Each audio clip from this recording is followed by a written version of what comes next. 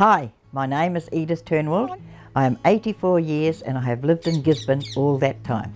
I decided to make my own coffin so that I have got my own personal touch to it. And I thought, I want animals that I've had all these animals in my life.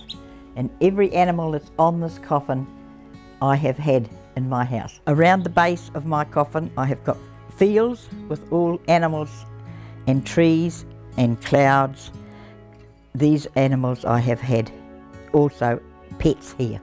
I don't find death scary as it comes to us all. I joined the Coffin Club so that I could make my own coffin and meet all the other members.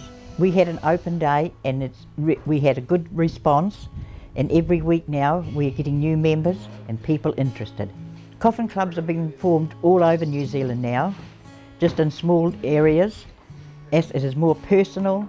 The Coffin Club is, is not a morbid club, it is a happy club. And the day we arrived there, down at the meeting, we are introduced, uh, we are measured for our coffin, as everyone is different size.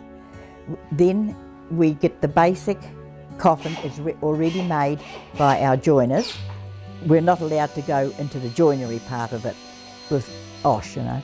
So then we, they do the basic and then we come along and we pick our plan and paint it. And we help put the handles on all that on and do all the lining ourselves. I've done all my lining with wool and knitted all my blankets because I'm going to be warm for many years. She's got bubble wrap in there as well. Because I like bubble wrap and I'm going to have something to do, eh?